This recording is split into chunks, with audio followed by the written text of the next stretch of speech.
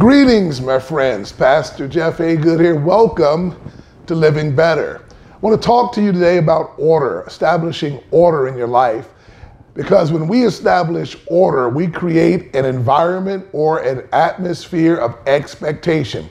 Everything God does, according to 1 Corinthians chapter 14, he does decently and in order. And it only makes sense that if you have an expectation for God to do magnificent, magnanimous, and miraculous things in your life, that you create an atmosphere of order where the Spirit of God can flow in your life.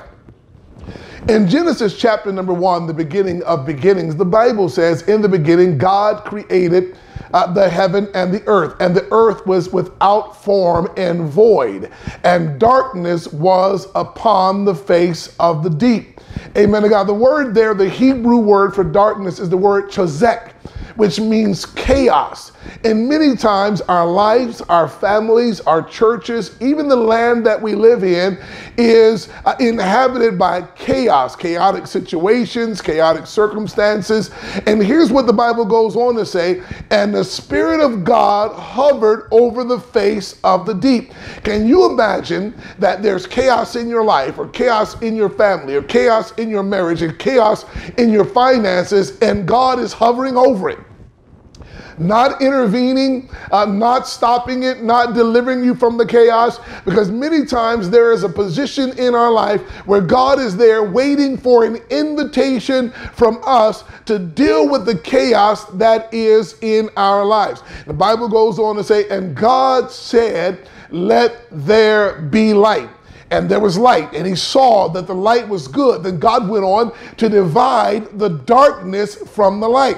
When we establish order in our life, we provide a dividing line between darkness and light. The book of Ezekiel says that it is our responsibility to draw a line between the holy and the profane. The Bible says that a double minded man is unstable in all of his ways. He should not think that he's going to receive anything from God. A fountain should not spew out both sweet water and bitter water. And that's just chaos because things are out of order. You know, there are things in our nation that are so out of order, and I believe that it is our responsibility to create the kind of order that ushers in a flowing of the Spirit of God, just like the day of Pentecost. The Bible tells us they were all with one, in one place with one accord, and suddenly there came uh, the sound of a rushing mighty wind from heaven. It set upon all that were in the house. When we create order, it opens up a portal from heaven that allows the Spirit of God to flow into our lives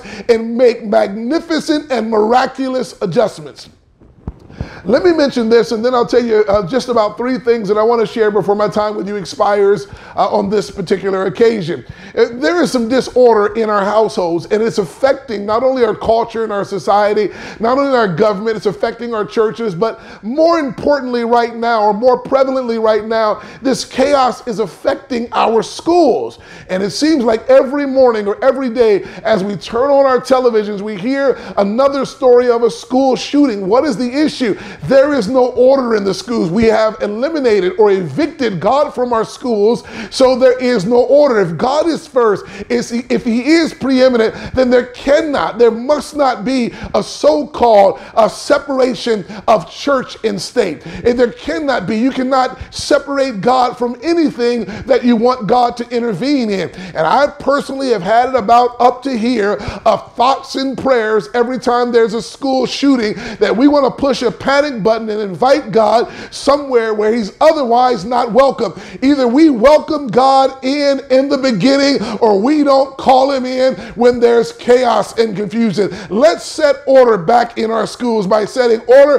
back in our houses, by setting order back in our life with God, and we'll see the end of this plague that has been terrorizing our nation with our children. Can I say this? And I'll finish with it in just a moment, friends. The enemy is after our children. And if we don't wise up and recognize that we need to do everything we can to protect them, the devil's design is to destroy the seed of a woman or the children of the people of God. And he's trying everything in his power from Roe versus Wade in 1973 and the scores of millions of kids that have been killed, all the way back to the days of Moses and the days of Jesus Christ, where the wicked one, the enemy, has been after the lives of our children. He's at it again. And now he's going going to our schools. And if you want to get the enemy out of our schools, we got to bring God back in. I know you say it's just a religious thing, but let me say this the devil is a liar. It is not religious, it is the divine order of God that the children be taught in an atmosphere where the Spirit of God is welcome. Let me calm down and finish up what I want to tell you today. You want to create order in your life? There's three things that you have to do. Number one, you have to speak it into existence. Anything that you're unwilling to confront with your words, you are unwilling to usher into your life. You have to speak it into existence. If you want something, ask for it. The Bible says our Father knows what we have need of, yet we still have to ask. Speak it into existence. Number two, the second thing that we have to do is simply this we have to strategically eliminate the chaos. If there's something in your life or someone in your life that's bringing chaos in your life, you can't pity pat with it. You can't uh, whisper sweet nothings in its ears. You have to strategically cut out the cancer in your life. Chaos never leaves voluntarily. There is no struggle without progress, no progress without struggle, rather. And if the chaos is to be removed, we have to be uh, uh, methodical, we have to be strategic, we have to be intentional about taking the darkness and moving it out of our environment so that there is an adequate receptacle for the spirit and power of God to move. Thirdly and finally, I would say this in order to create the order in our life that, that, that becomes the foundation for the expectation of the mighty move of God, we simply have to sacrifice or sacrificially sow toward what we want to see.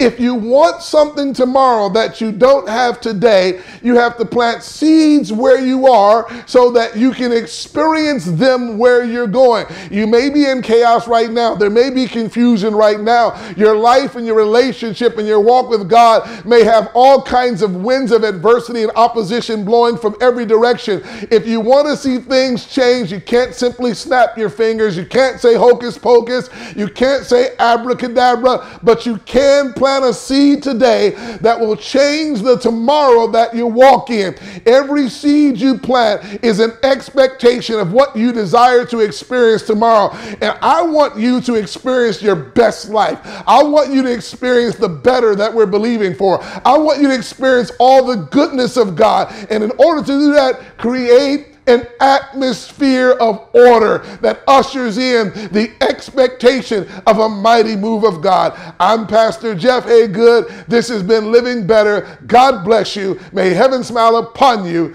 is my prayer.